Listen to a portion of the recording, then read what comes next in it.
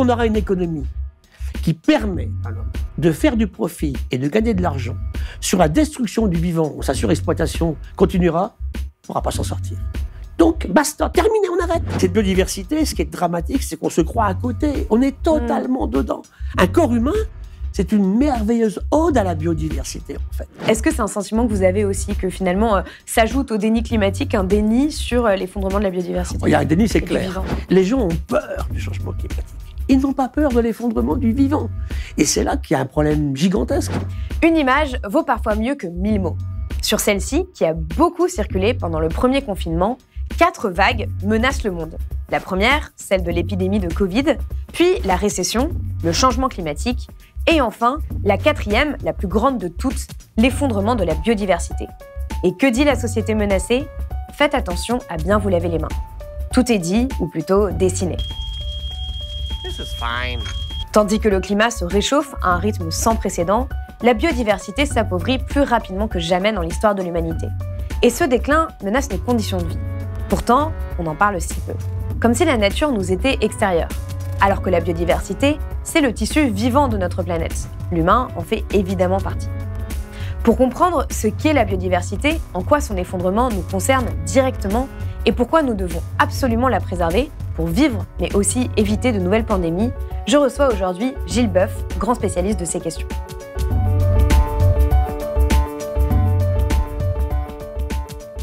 Alors Gilles Boeuf, bonjour. Bonjour, Merci d'être venu sur euh, le plateau de Blast. avec plaisir. Alors, vous avez un long CV, je vais essayer de le résumer très rapidement, euh, pas tout mentionner, on, en- on mentionnera quelques petites choses euh, au fur et à mesure de l'entretien. Donc, vous êtes biologiste, ancien président du Muséum d'histoire naturelle de 2009 à 2015, vous êtes professeur à Sciences Po, Sorbonne Université, au Collège de France, et euh, vous êtes un inarrêtable et excellent vulgarisateur sur les questions de biodiversité. Et c'est l'une des raisons pour lesquelles je voulais vous inviter aujourd'hui, parce que ce sont des questions qu'on a un petit peu évoquées sur Blast, mais que j'aimerais approfondir avec vous. Donc, pour commencer, est-ce que vous pourriez me dire, pour les, les personnes qui euh, ne sont pas du tout familières avec ces questions, quels sont les grands enjeux euh, autour de la biodiversité aujourd'hui? Alors d'abord la définir, hein, puisqu'on vient de perdre un grand personnage qui s'appelait E.O. Wilson, un Américain. Et ce monsieur a été extraordinaire, il a écrit toute sa vie sur la biodiversité. Ses livres de 2007 euh, ou plus récemment sont absolument magiques. Et le terme sort en 2000, 2000, ouais, 1985. hein. Il sort là, dans, dans le- mais uniquement dans les laboratoires, euh, ouais. les enseignes scientifiques. Alors, il n'est pas créé par n'importe qui. Il est créé par des scientifiques d'une nouvelle discipline qui n'existait pas jusque-là, qui s'appelle l'écologie de la conservation. Donc Wilson le popularise, mais ça reste dans les laboratoires de recherche jusqu'en 1992, hein, la deuxième conférence du sommet de la Terre à Rio, la première de Rio. Et là, le, le terme sort des laboratoires. Et aujourd'hui, c'est vrai que je défie quelqu'un d'ouvrir un média ou d'écouter quelque chose sans que le terme biodiversité n'apparaisse. Alors, c'est quoi la biodiversité? Vous verrez que moi, souvent, aujourd'hui, j'emploie le mot vivant, le vivant. Oui. Parce que c'est beaucoup plus un mot qui concret. est plus utilisé. Et c'est et c'est exactement la même chose. La biodiversité, c'est la partie vivante de la nature. Hein, quand la Terre se forme, 4,5 milliards d'années, un petit peu plus, elle se refroidit, elle se condense, l'eau donc s'installe comme eau liquide, l'océan ancestral se développe, et la vie va apparaître là-dedans, plus tard. 700 millions d'années après. Il faut bien faire la chronologie pour qu'on comprenne ce dont on parle. Donc la vie, c'est quoi? C'est une membrane, avec quelque chose à l'intérieur, quelque chose à l'extérieur. À l'époque, à l'extérieur, c'est de l'eau liquide, salée, l'océan. Et il y a des échanges sans arrêt entre l'intérieur et l'extérieur. C'est exactement pareil pour un corps humain aujourd'hui, ou pour euh, un serpent, euh, Mm. un arbre ou, ou une bactérie. Et donc, la biodiversité, c'est l'ensemble de toutes les relations que tous les êtres vivants ont établies entre eux et avec leur environnement. Pour être très simple, la partie vivante de la nature. Ne Donc, les humains, les espèces animales, les espèces végétales. Végétales, les champignons, les bactéries, les virus. hein. Donc ça veut dire que il faut y réfléchir. Souvent, on a confondu nature et biodiversité. Non, par exemple, un cristal de quartz, c'est magnifique. hein. Une jolie bague en or, c'est magnifique. Ça de vivant. C'était là avant que le vivant ne se développe. hein. Le monde minéral. Alors, ce qui est intéressant, c'est comment le vivant a dû tirer parti de cela pour exister, se développer, se reproduire et se perpétuer dans le temps. En fait, c'est ça qui est intéressant aujourd'hui. Ce qui veut dire que le monde minéral a donné naissance à la vie, bien sûr, à une époque. hein. Tous les deux là, on a un squelette. Mm. On ne tiendrait pas debout autrement. hein. Vous connaissez une coquille d'œuf de poule, une coquille d'huître, hein, un squelette de corail. Tout ça, c'est la relation intime entre le minéral et le vivant. Et cette chimie-là est absolument géniale, finalement. Donc le vivant apparaît, modifie ce qui était là auparavant et explique la situation actuelle dans laquelle on se trouve. Modifications aujourd'hui qui sont bien sûr tout à fait changées, chamboulées par les activités humaines. Justement, aujourd'hui, on parle beaucoup de l'effondrement de la biodiversité, enfin d'ailleurs pas assez. Euh, on parle euh, du, fait qu'on est à l'aube d'une sixième extinction de masse. Quels sont pour vous les grands enjeux justement autour de, ce qui est en train de se passer aujourd'hui? Bah pour Dès qu'on a compris ce qu'est le vivant et la biodiversité, je dirais une chose, c'est que tous, tous ceux qui nous écoutent là, on ne mange que du vivant. On ne mange pas une bicyclette, euh, on ne mange pas un cristal de quartz, hein, on peut pas. Mm. Vous vous rappelez ce vieux chef indien qui disait en fait que l'argent ne se mange pas. C'est ça mm. le problème aujourd'hui. Donc on ne mange que du vivant et surtout, surtout, surtout, surtout, Paloma, on ne coopère qu'avec du vivant. Tous les deux là, bon, on est super bien, on est content, on est beau, hein, on est intelligent, on discute, mais en fait, on est fait au moins un peu plus de bactéries dans nous et sur nous. Et c'est la collaboration entre ces bactéries avec un corps humain qui font ce qu'on est. Ce qu'on aime, ce qu'on n'aime pas, si on est beau, si on n'est pas beau, si on est en colère, si on ne l'est pas. Et le Covid nous révèle merveilleusement cela en montrant que ce qu'on appelle la comorbidité, la mort plus déclenchée chez des gens qui sont déjà en fragilité de relation entre leurs cellules à eux et les bactéries qu'ils abritent, la démonstration que l'humain est complètement dedans. Et cette biodiversité, ce qui est dramatique, c'est qu'on se croit à côté. On est totalement mm. dedans. Un corps humain, c'est une merveilleuse ode à la biodiversité, en fait. Et l'article terrible qui va sortir cette semaine aux États-Unis, je ne sais pas si tu l'as encore vu, qui montre que durant l'épisode Covid, eh bien, les cerveaux des bébés se sont mal développés. Aux États-Unis, il y a au moins trois travaux dans Nature, hein, des choses très mm. sérieuses, qui montrent que l'inquiétude de la maman liée à la crise Covid, et surtout le manque de relations entre enfants, ils se voyaient plus, ils se touchaient plus, ils couraient plus dehors, font que ça a dégradé leur développement, en fait, embryonnaire au sein de la maman, mais après le développement des premières années. Est-ce que nos bébés actuels vont être effectivement moins capables de s'adapter à des conditions difficiles que nous? Probablement. Lié à cette histoire de virus et aux mesures qu'on a prises pour nous en protéger. Et ça, c'est pour démontrer que cette biodiversité, elle est essentielle à l'humain. On ne peut pas s'en passer. Puis ensuite, euh, pourquoi les enjeux sont importants? Bah, Parce que simplement, les, grandes causes de l'effondrement du vivant, c'est d'abord la destruction. On détruit. Tous les jours, on détruit. On arrache, on, écrase, on écrabouille. Euh. Et, là, les, mâles ont des rôles différents des femmes, je trouve.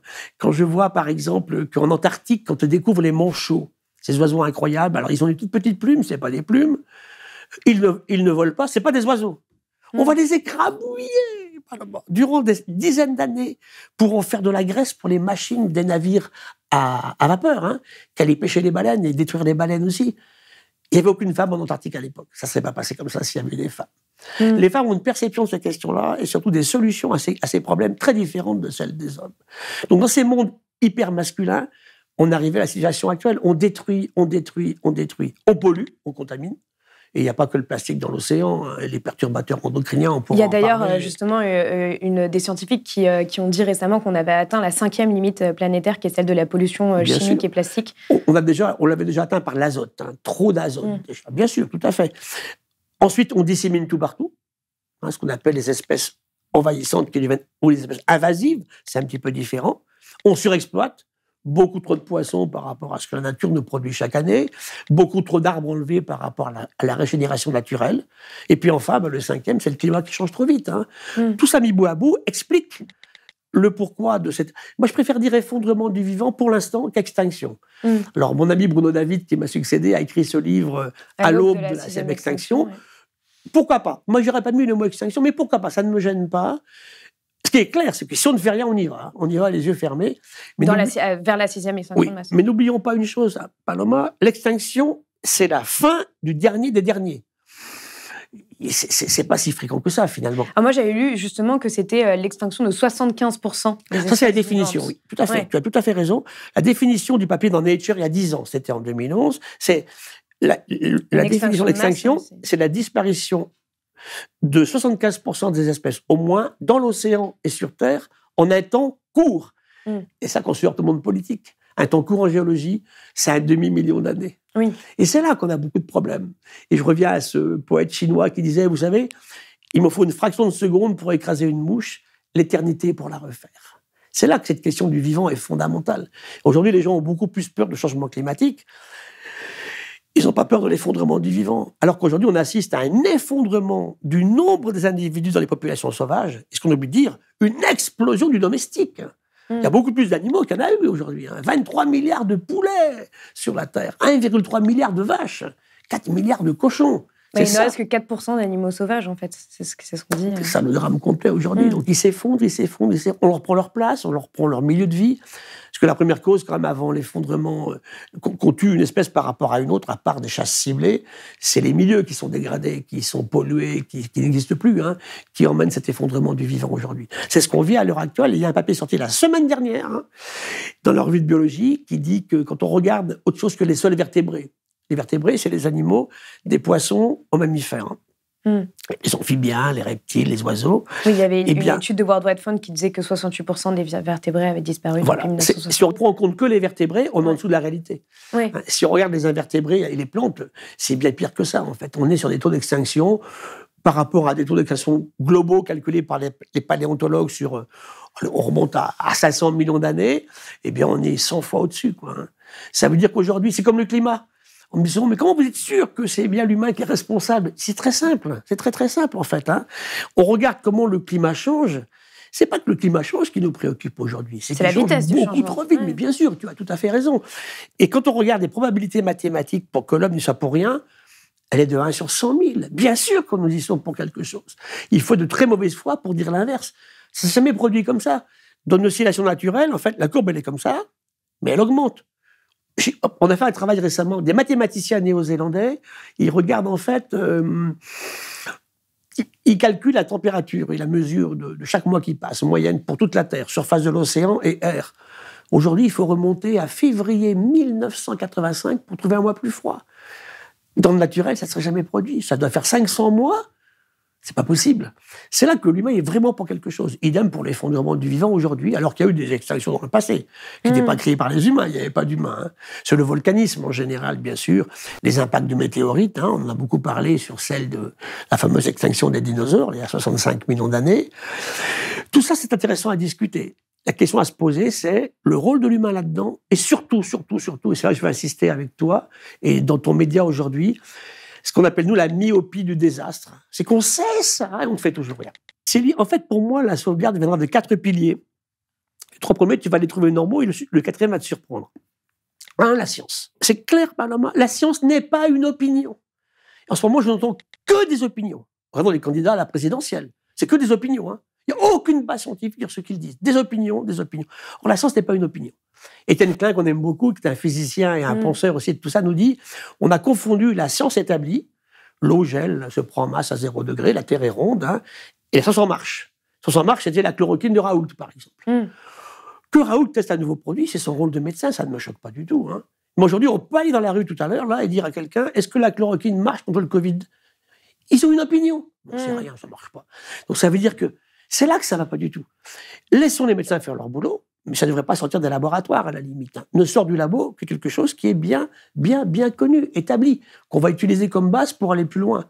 Et les moyens modernes de communication font que l'humanité somme des, connaissances incroyables, incroyables. Mais tout cela sans développer l'esprit critique qui devrait aller avec, tu vois. Mm. On va revenir à l'éducation pour terminer ce petit fragment-là. Donc la science, la vraie science. Deuxièmement, la politique, laquelle on va, on va en discuter, hein, bien sûr, que les jeunes aujourd'hui sont très concernés. Hein. On arrive à des choses ahurissantes. Hein, mes jeunes filles à Sciences Po, elles me disent bon, on fera pas d'enfants. Nous, on en a fait beaucoup trop. Moi, je suis né dans les années fin des années 50. Ben oui, bien sûr, beaucoup trop. Donc ça veut dire qu'aujourd'hui, on est dans un système où on réfléchit pas. C'est la myopie du désastre. Donc on arrivait à un système où notre principal ennemi, c'est la démesure finalement. Donc on a dit la science, la politique, on va en discuter. Qui prend ça en compte? Moi, j'ai écouté les discours, les discours présidentiels. On oublie souvent le climat et tout le temps la biodiversité, ça c'est clair. Le troisième euh, pilier, c'est les ONG, c'est nous, hein, les citoyens qui avons envie de parler, de discuter avec de la connaissance, de l'esprit critique, bien évidemment, qu'on échange, qu'on partage, on n'est pas tout seul. Hein. Il n'est pas question d'être un censeur d'idées, il, est question par contre de parler de choses qui sont réelles, pas d'inventer des choses avec les fake news, comme on les vit aujourd'hui. Hein. Et le quatrième pilier, bah, c'est l'entreprise. Mmh. Je ne crois pas du tout aujourd'hui que si l'entreprise ne prend pas en compte elle-même L'ensemble de ce que je raconte ici, ça n'a pas fonctionné. Pour différentes raisons. Il ne faut pas prendre tous les chefs d'entreprise comme des infâmes salopards qui veulent dégrader la planète. C'est pas vrai. Il y en a, hein, mm. avec lesquels je n'irai pas discuter. On les connaît tous les deux. Je m'en occupe pas. Au contraire, on les combat en permanence. Hein. Mais ce qui est clair, c'est que d'autres non. Et surtout, ce qui est important, c'est que je fais, extrêmement attention maintenant au bien-être des gens dans les entreprises. Donc, si ces quatre, ces quatre systèmes-là se mettent à coopérer ensemble, dans le bon sens du terme, on pourra y aller. Et c'est la raison pour laquelle on a besoin d'une information, effectivement, médiée par les médias, c'est leur rôle, bien sûr, hein, qui soit aujourd'hui absorbable par tous et surtout qui soit dans un sens de non-désespérance. Il faut qu'on soit extrêmement prudent sur la communication aussi. Moi, je, je, je suis très violemment opposé à la collapsologie le mot, hein, je suis désolé, on ne fait pas une science du collapse, au catastrophisme. Hein. Mm. C'est pas ça. C'est de dire aux gens, on est mal. Hein, ça, ne faut pas dire la réalité. Si on est là tous les deux, c'est on le pense tous les deux. Hein. On a envie de faire quelque chose. Retroussons-nous les manches. La pire des actions, ça serait l'inaction. Voilà. C'est un peu le débat qu'on a aujourd'hui. Et donc, comment on le fait pratiquement, c'est la vraie question. Oui. Alors justement, on va en parler euh, euh, par rapport notamment à l'épidémie euh, mondiale qu'on est en train de vivre de Covid depuis deux ans. L'OMS avait prévenu dès 2003 que 2020-2040 serait l'ère des pandémies. Euh, au moment euh, de, l'explosion de la pandémie, du premier confinement, on a tout mis à l'arrêt. Tous les scientifiques disaient euh, attention, c'est aussi lié à l'effondrement du vivant parce que le Covid est une zoonose, etc. Et que c'est la piste la plus privilégiée aujourd'hui du fait que ce soit venu d'un animal. On va en parler, c'est la seule piste d'ailleurs, c'est la vraie. Donc, hein. du coup, comment expliquer que, que bah, on, ne fait rien C'est que ce sujet-là ne soit pas sur la table dans le débat public, alors que la raison pour laquelle nos vies sont modifiées euh, depuis deux ans euh, est, aussi euh, le fait qu'on détruit les habitats naturels. En ce moment, moi, mon travail intellectuel, en ce moment, je suis élu en Nouvelle-Aquitaine. Et mon projet, c'est One Health, une seule santé. Ça veut dire qu'on regarde aujourd'hui les maladies humaines, dont les pandémies, dont bien sûr la Covid-19, avec les maladies des animaux, les maladies des plantes, des arbres, hein, et les maladies globalement des écosystèmes tout est lié. On sait maintenant très bien, et le Covid est encore une belle démonstration, que quand on affaiblit la diversité biologique à l'extérieur, on augmente les risques de nouvelles pandémies. Tout à l'heure, tu as prononcé le mot de zoonose. Une zoonose, c'est ce qu'on appelle, nous, un saut d'espèce. Hein. C'est un pathogène, ça peut être un protozoaire, un protiste, ça peut être une bactérie, un virus, qui mute et qui passe d'une espèce vivante à une autre. Il peut venir de plantes, de champignons ou d'animaux, bien sûr, plus facilement, et il passe à l'humain. En gros, si je regarde aujourd'hui les maladies nouvelles en France depuis 1940, on en a 300, qui n'existaient pas. Ou alors extrêmement euh, silencieuses, il y en avait un petit peu. Euh, le sida est un bel exemple, par exemple, fin des années 70. Et on regarde d'où ça vient. Les trois quarts, entre les deux tiers et les trois quarts, sont des zoonoses. Ce qui veut dire que Parce que le sida est une zoonose, ça c'est quelque chose qu'on ne sait pas. Tout à fait, mm. bien sûr. Le, la rage, tu vois, euh, euh, des maladies comme euh, aujourd'hui des, les leishmania, on en a en mm. France en ce moment, le chikungunya. On, on, a des animaux transporteurs de maladies on a, qui, qui, qui changent, qui, qui, qui, varient avec la géographie. Ça, on va en parler aussi. Quel est le rôle de la température sur le vivant hein, Quand on abordera un peu les relations avec le climat. Donc la zoonose, c'est ça. Et c'est lié à quoi? C'est lié d'abord à l'hyper-explosion des humains, c'est clair. Hein. Deuxièmement, on me dit pourquoi ça se passait pas avant? On était infiniment moins nombreux. Un événement qui se produit en l'an 1000 n'a pas les mêmes conséquences aujourd'hui. On est infiniment plus nombreux. Si je reprends le cas d'une zoonose terrible, c'est d'ailleurs la deuxième cause dans l'histoire de l'humanité de mortalité humaine, ça a été ce qu'on appelle le H1N1, la fameuse grippe espagnole. Hein. Mm. Il y a juste un siècle. Ça se produit, ça part aux États-Unis sur des canards. Et ça passe du canard à l'humain. Et on en a eu plein comme ça. Euh, euh, la première qui avait récente qui avait fait déclencher par l'OMS, que tu disais sur attention, on va s'en prendre une. Hein. Moi, j'ai écrit ça sur leurs recommandations depuis 20 ans aussi. Avec eux, on a écrit plein. Il faut relire le texte du Comité consultatif français national d'éthique de 2009. Il raconte exactement ce qui va se passer. Un virus de Chine, pourquoi on pourra en parler aussi bien sûr, qui va se transmettre à l'humain et qui va tout paralyser. Ah, pourquoi un affaiblissement de vivant ça se produit? Tout simplement parce que un virus, il n'a pas d'intention. Hein. Il est spécial, le virus, parce qu'il est, il est vivant sans l'être. Il est vivant. On peut tuer des virus. Si on les tue, c'est qu'ils ont été vivants avant. J'en ai marre mm. d'entendre qu'on me dise les virus ne sont pas vivants. Je suis désolé. C'est des formes de vie très particulières. Ils ne savent pas se reproduire tout seuls. Donc ça veut dire qu'il faut qu'ils trouvent une cellule qui va l'accepter. Donc il faut que le virus arrive à. Ça, château fort, hein, À tourner les défenses de château fort, à rentrer dedans, et là, il se développe. Il utilise la machine de la cellule pour faire non pas des cellules comme elles étaient auparavant, mais des petits virus, les siens, à lui. Très bien. Quand il a fait ça, bah, le problème, il est assez dramatique. Ça veut dire qu'il relâche des, bébés virus, des virions en permanence dans le milieu, qui vont aller affecter d'autres cellules, bien sûr. Hein. Le virus n'a pas d'obsession, mais s'il veut se reproduire, c'est ce qu'il faut qu'il fasse. C'est ce qui s'est passé là. Donc les virus, eux, ils mutent en permanence, ils évoluent 4 à 5 000 fois plus vite que tous les deux. Parce que c'est des générations sans arrêt. Sans arrêt. Oui, bah on le voit euh, d'ailleurs euh, en ce moment. Hein, euh, avec, avec ces fameux Delta, bien sûr, tu vois. Traduit sur tellement de gens qui sont infectés. Alors, c'est intéressant de comparer le, virus actuel à celui de 2003, le premier SARS-CoV, qui s'est arrêté au bout de trois mois sans aucune vaccination. Il était trop méchant. Il tuait trop, tuait la moitié des gens. Ce qui veut dire que, pour revenir à ta question fondamentale, relation de biodiversité pandémie, c'est que quand un milieu est très biodivers, avec un maximum d'espèces différentes, certaines sensibles au virus, d'autres pas, le virus, il a un parcours du combattant hein, quand il sort de sa, son mm. animal initial. Deuxièmement, dans celles qui sont sensibles, il y a des variabilités génétiques. C'est ce qu'on appelle la variabilité génétique, hein, le polymorphisme génétique au sein de la même espèce, de la même cellule. Et certains sont, sont résistants et d'autres pas. C'est ce qu'on fait avec les antibiotiques, par exemple, aujourd'hui. Hein. Aujourd'hui, on vit à notre drame, c'est l'antibiorésistance qui est catastrophique. Hein, oui. Et qui est liée à l'hyper-excès d'usage. Encore une fois, la démesure. C'est super, les antibiotiques. Merveilleuse invention. Ça a sauvé des millions d'humains grâce à Fleming, avec sa pénicilline. Mais aujourd'hui, on les utilise tout n'importe comment, dans les yaourts, dans les animaux d'élevage. C'est une catastrophe. Surutilisé, eh bien, le monde vivant. Oui, on en mange en plus, enfin, on en, on en ingère sans s'en rendre compte. C'est non seulement habitué, mais devenu résistant.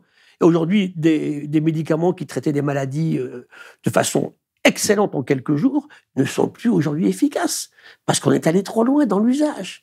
Donc c'est la démesure encore une fois. Donc pour revenir et terminer sur les zoonoses, plus il y a d'espèces vivantes dans un écosystème, et plus au sein des espèces qui sont là, il y a de la variabilité génétique au sein de ceux qui sont sensibles aux pathogènes, mais ça se passe. Qu'est-ce qui se passe quand on détruit la forêt tropicale, quand on surpêche dans l'océan, quand on pollue les côtes, quand on enlève la forêt, aussi boréale, et quand on pollue les sols?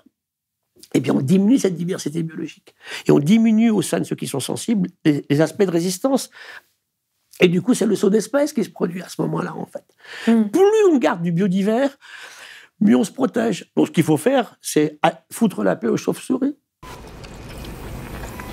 On me dit, ah, ça va une chauve-souris, votre virus? Je dis oui, au départ, oui. Je ne dis pas qu'il n'a pas été bricolé après, mais au départ, c'est un virus de chauve-souris. Oui, ce qu'on dit, c'est que les premières traces de Covid ont été vues dans les. Dans on les connaît depuis 20 ans, dans les grottes du Cambodge, tu vois, du Laos, au muséum, en Chine.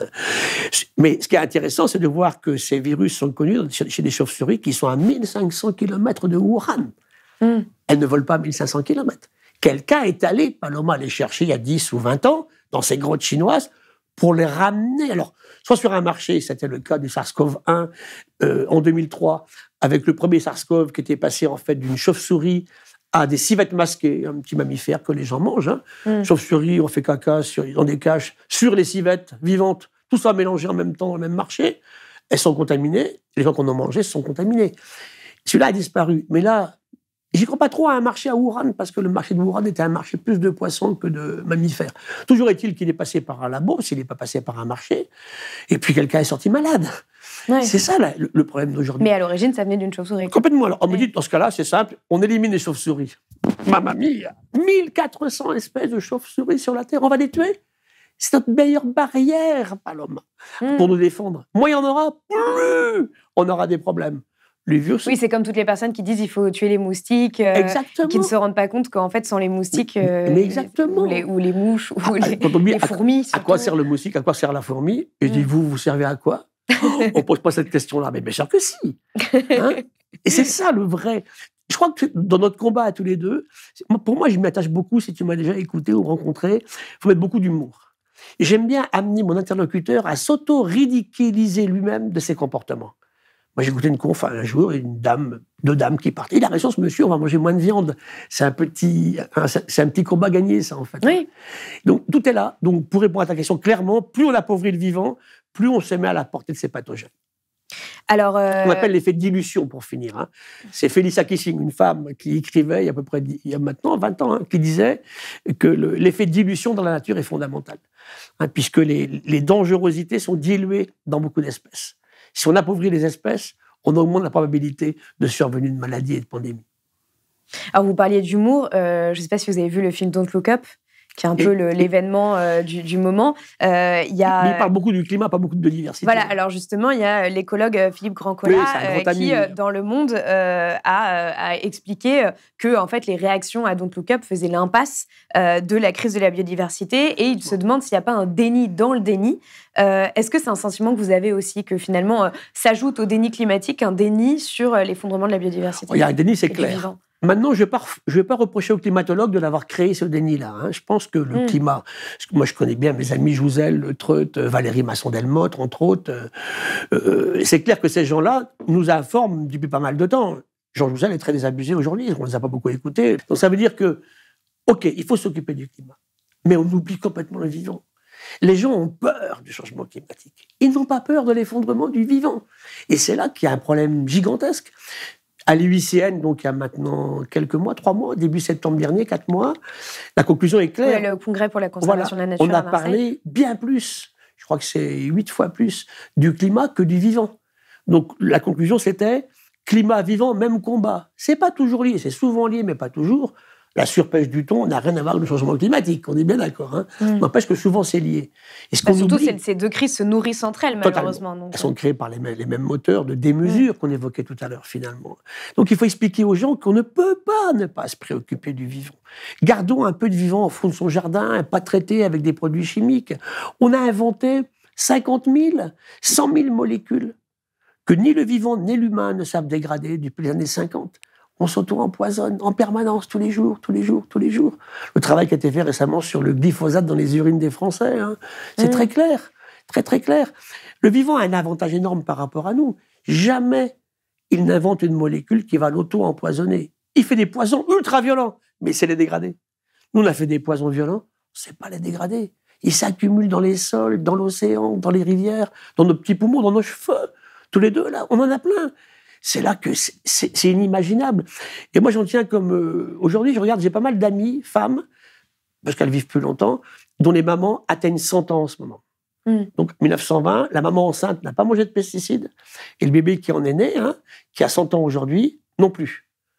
Ben, J'attends de, de, voir combien de temps vont vivre les femmes nées après 1952, quand on généralise partout en France l'usage des pesticides sur les cultures.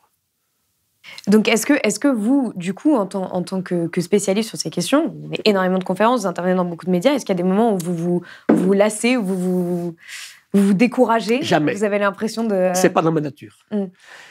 Non, parce que d'abord, je suis un incorrigible optimiste, un gros naïf, comme beaucoup de scientifiques et beaucoup d'écologues. Le, discours, il, est très clair pour moi. Je, suis enseignant. Je dois être le seul en France à intervenir dans autant, autant de lieux différents d'enseignement. Sciences Po, HEC. Cette année, trois invitations à HEC. Tu te rends compte? C'était impensable. Un écologue, ça sert à rien. Il y a 15 ans, chez les gens qui faisaient HEC, Kedge, je vais à l'école des mines, je vais à Centrale Supélec, mon université à Jussieu, le muséum, euh, les écoles de médecine depuis longtemps, les écoles vétérinaires. J'ai trois, j'ai trois quarts à 90% de filles dans les écoles de médecine et vétérinaires aujourd'hui. L'école de la magistrature. Parce que maintenant, c'est demandé.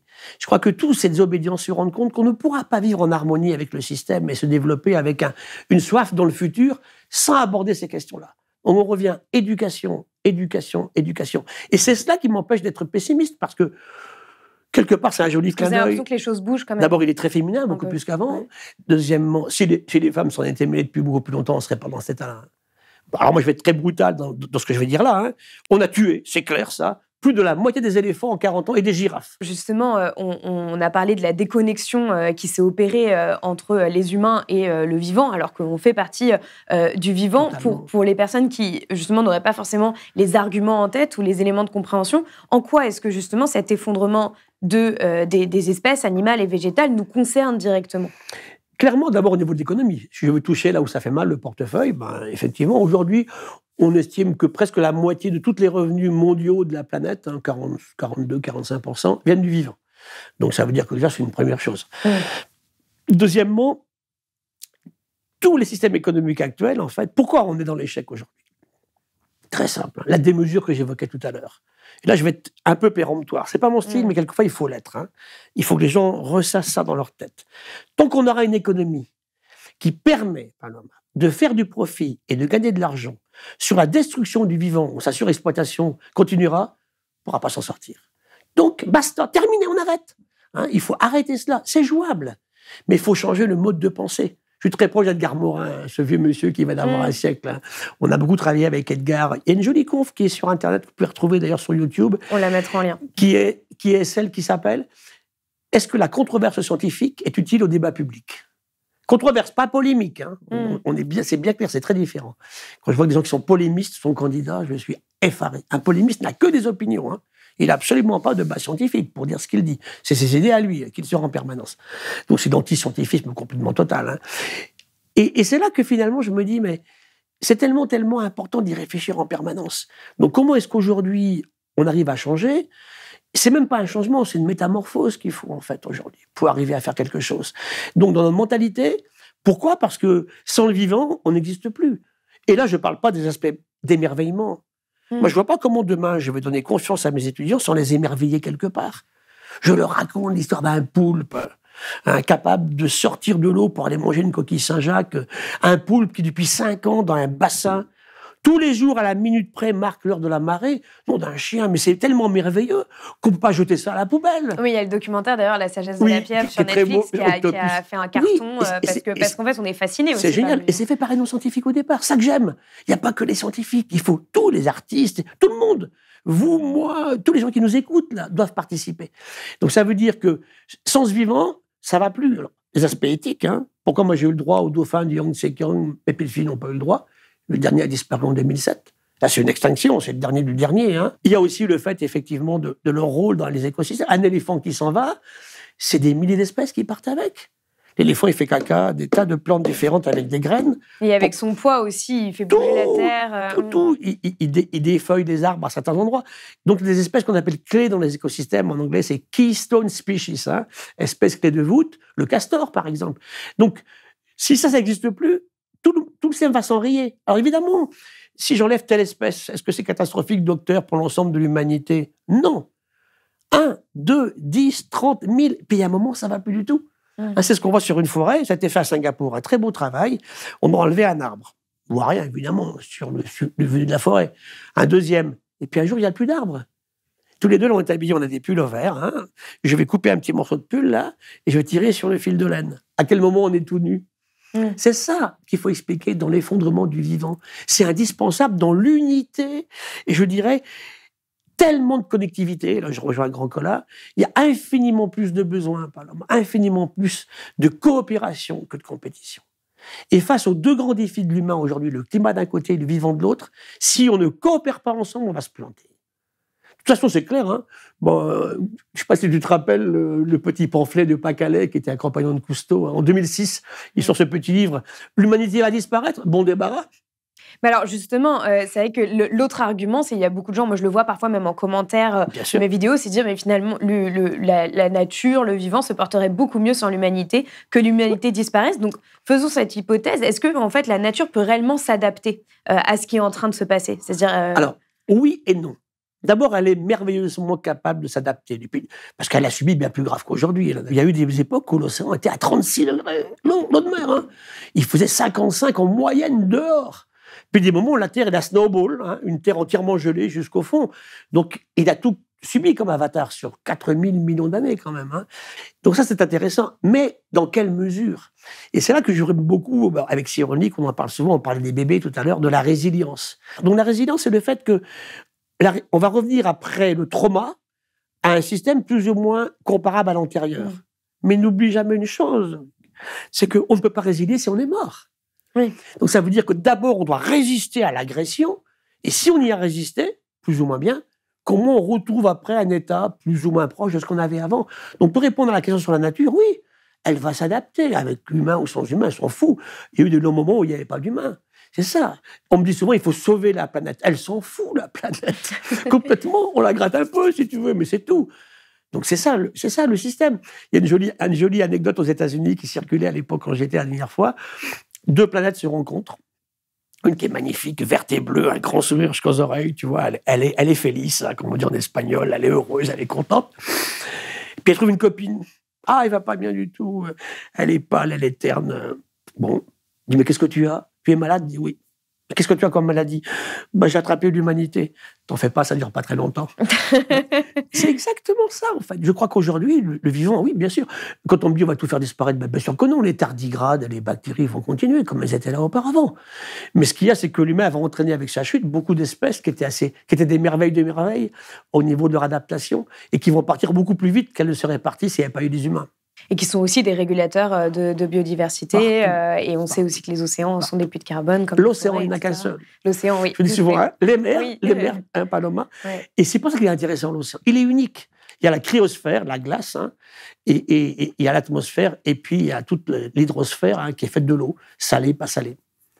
Donc l'océan a un rôle fondamental du régulateur du climat, oui, ça c'est sûr. Alors, euh, vous avez le sens de la formule. J'ai lu euh, récemment dans une interview dans Sud-Ouest que vous disiez pour le vivant, on peut arrêter de tout flinguer. Euh, donc, vous dites on peut. justement, il y, a beaucoup de personnes qui se sentent complètement démunies par rapport à la crise climatique, encore plus, je pense, par rapport à la crise de la biodiversité. Donc, qu'est-ce qu'il faudrait faire pour arrêter ce désastre? Et je vous propose qu'on fasse ça par échelon. Donc, déjà, à l'échelle individuelle, qu'est-ce que les personnes qui nous regardent peuvent faire La première, Paloma, hmm. manger beaucoup moins de viande. Alors les végans m'attaquent en disant il faut que tu dises qu'il faut arrêter de manger de la viande. Non, je ne sais pas jusque-là tout de suite. Il faut manger beaucoup moins, ça c'est clair. Deux fois par semaine, c'est largement suffisant. On va se développer de façon harmonieuse, hein. ça c'est clair. Dans nos courses, qu'est-ce qu'on achète? Je pense que notre meilleure carte de vote, c'est la carte de crédit. Hmm. Qu'est-ce que Oui, c'est toute cette idée du boycott par la consommation pour essayer de faire évoluer les Tous pratiques. Tous ces gens qui vendent ces produits lamentables là, si on ne leur achetait pas, ils arrêteront. Hmm. Pourquoi on continue à mettre sur les champs des produits comme le glyphosate? Parce qu'on a tué les sols avant. Si on ramène la vie dans les sols, on n'aura pas besoin. Il faut la diversité partout. Mais ce qui est très clair, c'est que ce qu'on achète et ce qu'on mange, c'est fondamental. On est le reflet de ce qu'on mange tous les deux. Là, c'est tellement évident. Aujourd'hui, on vit un drame, c'est la malbouffe. Et qu'est-ce qui a tué par le Covid? La malbouffe. La misère, la pauvreté et la malbouffe. Des gens gros, hein, qui étaient en hypertension artérielle, en diabète de type 2, qui faisaient plus de sport depuis des années. C'est ça, en fait, la cible de ces virus. Ils révèlent nos fragilités. Et ce qui est tellement, je dirais, époustouflant et merveilleux quelque part, il a 15 gènes d'ADN, ce petit virus. Tous les deux, on en a 29 000. Et notre économie s'est effondrée à cause de ça. Réfléchissons un petit peu. c'est là, je dis souvent, dans nos résolutions de système que chacun peut utiliser, il faut des mathématiques appliquées, évidemment, de la physique, bien sûr, de la chimie, de la biologie, de l'écologie, mais aussi de l'anthropologie, de la sociologie, bien évidemment. Il nous faut aussi du droit, il nous faut aussi de l'économie, laquelle hein Et hmm. puis un poil de philosophie et d'art, c'est quand même pas mal aussi. Quoi. Tout ça en même temps. Et ça, on ne sait pas faire ça. Alors justement, oui, c'est vrai que la, question individuelle, bon, on enfin, chacun peut essayer de faire euh, ce qu'il peut à son échelle, avec ses moyens, etc. Voyager différemment prendre-moi sa voiture. Là, c'est le rôle des ONG de raconter ça. Mmh. Mais il y a toujours, on se, heurte aussi à un système euh, économique, à une économie, comme vous le disiez, qui, qui détruit le vivant, et, euh, et aussi euh, bah, à, une espèce de machine infernale qui semble enclencher. C'est-à-dire que, par exemple, quand on entend qu'il va y avoir plus de plastique que de poissons dans les océans en 2050, bon, on voit des innovations qui essaient de ramasser les plastiques, mais on a l'impression que ça ne fait pas le point, en fait, d'une certaine manière. Moi, je suis même pas pour qu'on les ramasse. Hein. Mmh. Parce que tant qu'on va les ramasser, ils vont continuer à en produire. Il faut arrêter de les produire et les bloquer dans les fleuves, qui n'arrivent pas à l'océan, en fait. Aucun plastique ne devrait arriver à l'océan. C'est comme mettre des gamins sur une plage pour ramasser les saloperies sur la plage. Hein. On peut le faire à l'échelle locale, mais je suis désolé. Si on continue à faire ça, eh bien, ils vont continuer à relarguer leurs produits. Quelqu'un les ramasse. Donc, il faut qu'aujourd'hui, si on les ramasse, il faut en faire quelque chose aussi. Hein. Si c'est vertueux, tant mieux.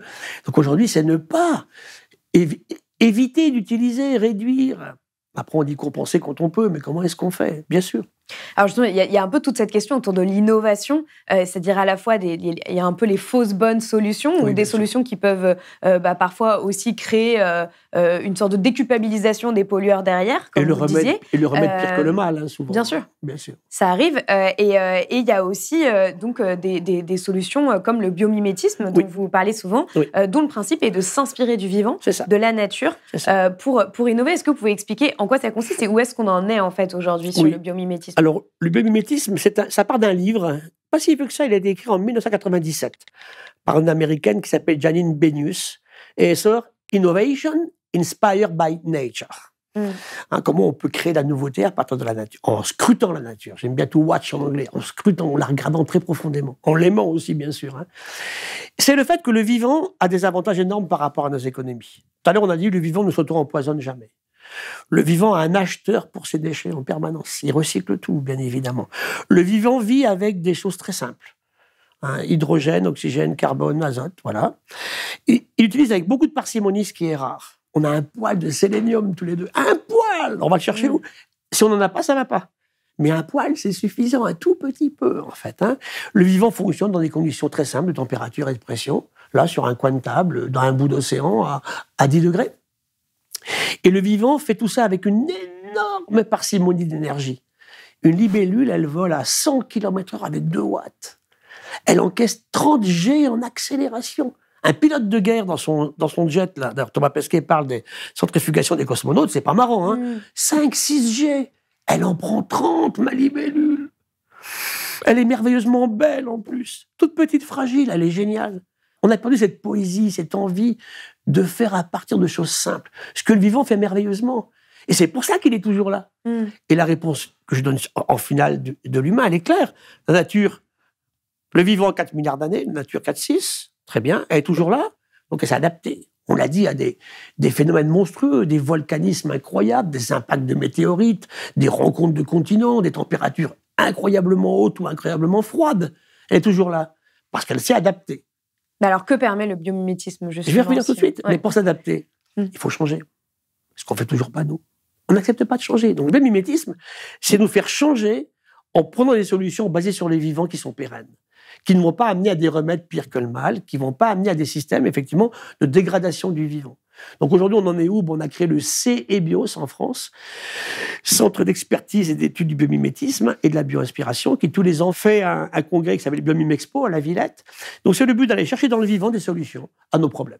Comment aurait fait le vivant face à tel problème? Les plastiques en excès, par exemple. Euh, quelles bactéries les dégradent Dans quelles conditions euh, L'invention du sang artificiel à partir d'un verre marin, hein, des côtes bretonnes. Ça va être aussi des pales d'éoliennes qui sont complètement inspirées d'ailerons de baleine et qui fonctionnent beaucoup mieux. Le fait de relever le bout des ailes d'avion, on gagne beaucoup d'énergie, donc moins de pollution, euh, moins d'énergie pour transporter l'avion et le faire aller vite, en regardant les grandes plumes des oiseaux ce train japonais inventé qui va le plus vite au monde, inspiré du bec et la tête du martin pêcheur, qui ont des CX, des coefficients de pénétration dans l'eau et dans l'air exceptionnels. C'est tout ça. Il faut une trilogie pour que ça marche, et puis le mimétisme. Il faut un chercheur qui a une idée, qui lance quelque chose, il a fait une découverte, un ingénieur, comment l'ingénieur traduit en fait technologique qui soit réalisable réellement par l'humanité ces choses connues, et une entreprise. Voilà pourquoi je dis que l'entreprise est très, est très intéressante à ce niveau-là. Grâce à ça, avec des gens qui ont envie d'avancer de façon vertueuse, il y en a, hein, bah, ça peut fonctionner. Donc le mimétisme, c'est d'aller s'inspirer du vivant pour mieux faire, parce qu'elle fait mieux que nous. Et je terminerai là-dessus en disant que le vivant fait mieux que nous, plus vite, sans polluer, en recyclant ses déchets, moins cher. Allons-y. Alors, il y, a quand même quelques critiques euh, autour euh, du biomimétisme, ah, mais, euh, mais, voilà, oui, c'est vrai que c'est comme toute innovation, ça dépend ce qu'on en fait. à l'échelle à l'échelle politique, vous avez été membre du Conseil scientifique du patrimoine naturel et de la biodiversité auprès du ministère de la Transition écologique et solidaire.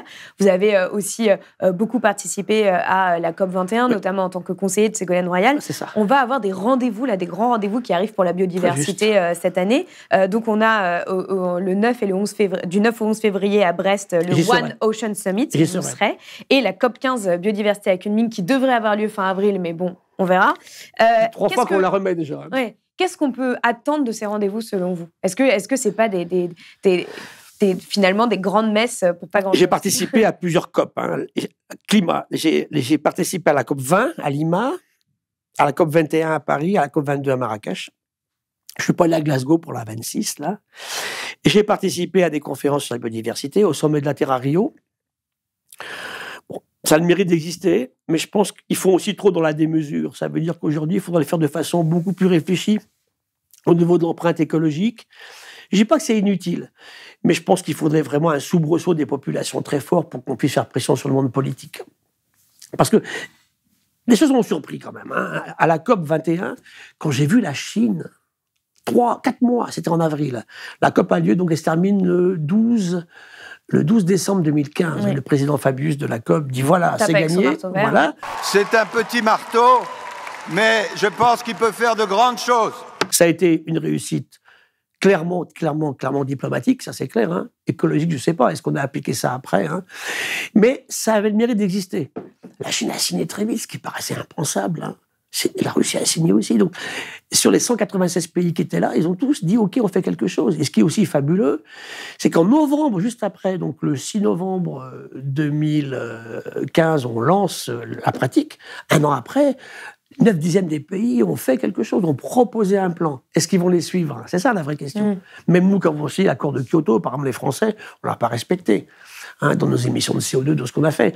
Donc comment on traduit ça réellement dans, dans, les faits? Donc, Mais qu'est-ce qu'on peut attendre, par exemple, de ce One Ocean Summit en termes de, de mesures ou de, euh, voilà, de, de, de grandes politiques qui devraient être mises en place pour vraiment stopper euh, bah, il faut te dire que moi, je ne suis pas super optimiste là-dessus. Moi qui suis un optimiste de nature, je ne crois pas trop. C'est-à-dire que c'est trop vite décidé, euh, ça fait, ça, fait, ça, fait bling bling sur le moment, on va faire ça. C'est pas suffisamment on, va, on, va, on, va, on va protéger, euh, on va sanctuariser les aires protégées. et, Par exemple, tu vois, j'ai fait partie, j'ai été président du conseil scientifique du parc de la mer de Corail. C'est le plus grand parc national français, c'est une fois et demie la superficie de la France. Pour surveiller ça, on a un bateau de 24 mètres. C'est clair qu'une aire protégée, qu'elle soit marine ou terrestre, elle ne marche que avec des moyens qui sont mis avec. En hommes, en femmes évidemment, hein, bien sûr, hein, et en argent aussi, ce qu'on ne fait pas. Aujourd'hui, aujourd'hui, on n'investit pas en fait pour protéger. Euh, Paloma, on crée des nouveaux parcs nationaux en France, en déshabillant ceux qui existent déjà. Il n'y a pas de postes nouveaux. Les syndicats, par exemple, moi, là-dessus, je les appuie, hein, de, des parcs nationaux nous disent on ne veut pas de nouveaux parcs, puisqu'on va déshabiller celui ci pour habiller l'autre. Ça ne marche pas. Mettons les moyens. Aujourd'hui, moi, je préside une réserve naturelle. On ne l'a pas dit dans mes fonctions. Je suis très fier de cette fonction-là, qui est la réserve naturelle de la Massane, dans les Pyrénées. Qui est génial, hein Il a été classé en juillet 2021 au patrimoine mondial de l'humanité, une forêt française, qui est le lieu en Europe qui a le plus d'espèces ramenées à la surface. Génial. J'ai dû aller chercher de l'argent dans le privé pour aider ma forêt à, subsister. L'État ne fait pas les efforts qu'il faut là-dessus, bien sûr. Bah alors justement, euh, quand je parlais tout à l'heure du, euh, du, fait qu'il allait y avoir euh, plus de plastique dans les océans qu'en en 2050, on voit le, braconnage qui continue aujourd'hui, les, les, la campagne européenne en ce moment sur le, les ailes de requins qui sont, qui sont, enfin, qui sont commercialisées. on coupe les ailerons des requins, on les laisse couler dans l'eau, etc. on, le film Jacques Perrin, hein, qui sont voilà, de, de biodiversité c'est vrai qu'on a quand même vraiment l'impression que là, on n'est pas du tout, du tout sur la bonne pente. Donc, vous dites que vous ne croyez pas euh, au pouvoir politique, mais du coup, vous qui étudiez ces questions depuis des années, qu'est-ce qui... Euh, Je n'ai pas dit que je n'y crois pas du tout, mm. mais à mon avis, ce n'est pas suffisant. Le politique, il ne sera peut-être pas l'initiateur, je crois, parce que je ne veux pas tomber non plus dans une dictature écologique, on est bien d'accord. Hein. Mm. Et pour moi, aujourd'hui, c'est la grosse confusion en France entre l'écologie et l'écologisme. Hein. C'est pas du tout la même chose. Je dis souvent, si les écologistes avaient des écologues avec eux un peu plus, je pense qu'on proposerait de meilleures solutions que ce qui se passe aujourd'hui. Donc il y a des choses, il faut être pragmatique aussi. Hein. Donc euh, Nicolas Hulot disait, euh, on avance trop à petits pas. On peut difficilement ne pas avancer à petits pas, sauf invention technologique qui changerait tout. Hein. La pénicilline, on en parlait, a changé beaucoup de choses, mais du coup, on va la surutiliser. Et là, je reviens à Edgar Morin qui disait récemment au président Macron, le problème n'est pas la frénésie scientifique ou technologique, il est l'usage que l'on en fait. C'est exactement ce dont on parle là. Hein. Quand tu parles aussi de technologie sur le, sur le climat aujourd'hui, il, disait aussi, il parlait des gilets jaunes, c'est tellement vrai. Il dit, regardez ce qui se passe. Si le pouvoir politique oublie les gens qui sont pauvres, eh bien, le premier gourou qui passe, il gagne. C'est terrible. On en a des gourous qui sont dans l'attente en ce moment. On a eu au Brésil, aux États-Unis, il y en aura en France aussi, ou en Italie. Donc c'est là que cette écologie-là, est finie par avoir des impacts sociaux gigantesques. Et ce qu'on oublie, c'est que les impacts écologiques du climat ou du vivant qui sont là ont non seulement des impacts sur la vie de tous les jours, que expliqué tout à l'heure, mais tout le temps, tout le temps sociaux. Il n'y a pas d'impact sans qu'il y ait des impacts sociaux. L'objectif numéro un des Nations Unies dans les ODD, hein, les objectifs de c'est éradiquer la pauvreté. Allons-y, qu'est-ce qu'on fait? On fait rien du tout. Et là, je vais être encore véhément et je vais m'emporter aussi sous le seuil d'extrême pauvreté sur la Terre en ce moment-là, qui est donné à 1 dollar US, donc 0,8 euros par personne et par jour. Plus des deux tiers, presque les trois quarts sont des femmes. Ça me révulse. Mais c'est ce que d'ailleurs disait Lucas Chancel, que euh, l'économiste Lucas Chancel que j'ai reçu euh, récemment, qui disait qu'on ne peut pas affronter euh, le problème du climat sans régler le problème des inégalités. Mais complètement. Regarde aujourd'hui dans les grandes catastrophes naturelles, un climatique ou autre, un tsunami, un volcan qui crache, et deux tiers des victimes sont des femmes. alors que vous êtes plus nombreuses que les hommes sur la Terre passé 25 ans. Il y a un problème gigantesque à ce niveau-là. Ça commence par ça. Et je vais avoir une, image un peu curieuse. J'ai deux, deux obsessions, si je peux en avoir.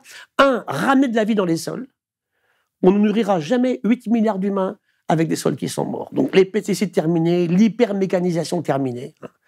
Mais on fait de la polyculture, on est bien d'accord. On diminue pas les rendements. On est de plus en plus nombreux. On ne va pas augmenter les surfaces agricoles à l'infini. Sinon, mes zones humides et mes forêts tropicales, elles s'en vont. Hein. Mm. On produit plus, mais de façon vertueuse, comme le fait le vivant, en faisant de la polyculture, pas une seule espèce au même endroit, au même moment. Et deuxièmement, mettre toutes les petites filles du monde à l'école. Je crois que si déjà on arrivait à ça, ça serait déjà pas mal, effectivement. Est-ce qu'on va prendre ces décisions durant ces grands messes dont on parle là? Je ne sais pas. Ah bah, sur l'éducation, il ne me semble pas, mais en tout cas. Éducation, mm. éducation, éducation. C'est tellement, tellement important. Qu'un enfant sache qu'une bactérie, c'est pas forcément méchant. Au contraire, qu'il est plein de bactéries, qu'elles sont merveilleuses. J'ai trois petites filles hein, qui me disent toujours, le grand-père raconte une sortes de petites cellules. Je raconte des sortes de virus et de bactéries. Ils ouvrent des, elles ouvrent des yeux comme ça. Et c'est vrai, on a plein les cheveux. Alors, le, drame, c'est que nos élites ne le savent pas. Il n'y a pas un cours d'écologie à l'École nationale d'administration. Oui, mais malheureusement, oui. Pas une seule heure. Il y en a à Polytechnique maintenant. Maintenant, j'en fais de l'écologie à, Sciences Po, ça marche bien. Bruno Latour avait commencé avant moi. On en fait aussi à, HEC, à Supélec, euh, à l'école des mines. Ça vient. Et ces ingénieurs formés aujourd'hui seront différents. Hein. Parce que leur obsession, c'est pas que gagner de l'argent. Ils n'ont pas envie d'aller travailler chez le plus grand pôleur pour gagner des sous. Ils, veulent du sens à leur vie. Et ça, on n'a jamais su le faire dans l'éducation nationale. Et on a beaucoup plus développé euh, un peu de connaissances que l'esprit critique c'est fondamental. Et j'en veux à ce gouvernement qui aujourd'hui nous tue au lycée l'enseignement des sciences de la vie et de la terre. Il n'y aura pas d'esprit critique chez les jeunes Français si on ne leur enseigne pas en permanence. La biologie est optionnelle, une option. C'est monstrueux. Je ne comprends pas. Euh, merci beaucoup Gilles Boeuf d'être euh, venu sur euh, le plateau de Blast. Avec plaisir, partagé. Merci. Merci. C'est la fin de cet entretien. Comme d'habitude, vous trouverez tous les liens pour aller plus loin sous la vidéo. Pour que cette vidéo ait le plus d'impact possible et qu'un maximum de personnes comprennent les enjeux autour de l'effondrement de la biodiversité, n'oubliez pas de la liker, de la partager sur vos réseaux sociaux et de vous abonner à notre chaîne YouTube. Pour continuer à travailler sur ces sujets, faire des reportages sur le terrain, nous avons besoin de vous. Alors pour nous soutenir ou faire un don, même symbolique, rendez-vous sur blast-info.fr. À très vite sur Blast.